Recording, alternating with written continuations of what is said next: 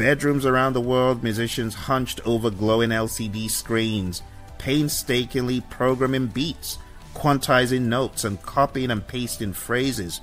One of my buddies asked me in the mid 90s, Can you produce our band? And what was at the center? It was the 01/W from Korg. This was the workstation revolution. It was powerful, it was liberating, but it was also slow, my friends. Ask anyone who lived in that era. It could take you a full hour to just program a four minute track, and that was because you'd have to stack four minutes of playing one instrument from start to finish and then another. And you had to think like a programmer and a musician at the same time. Menu diving, step editing, managing MIDI channels, and you find it was so laborious, but it was worth it. The results were world class, but the cost was time, hours of time. That was the trade off. Incredible power, but incredible patience needed.